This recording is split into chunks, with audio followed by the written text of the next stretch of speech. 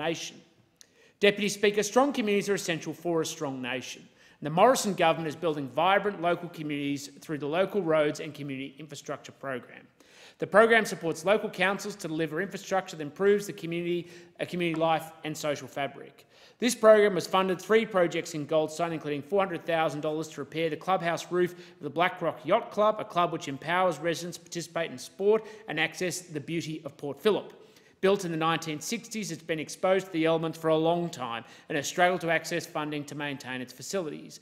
And with the Morrison government support, the club now has secured, secured its future and continues to be able to service the community. So thank you to Club Commodore Lara Blassie. Your tireless advocacy alongside General Committee members uh, Graham Ainley and Nick Wallace and club members Jeff Dresser and Mark Taylor has been instrumental in getting this project underway. And thank you to the Bayside Council, Mayor Laurie Evans, Bayside CEO Mick Cummins and the Sandringham MP Brad Rowswell for contributing your enthusiastic support.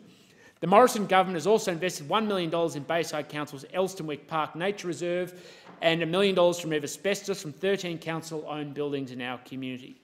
They're all a critical part of building the strength of our community and its safety into the future.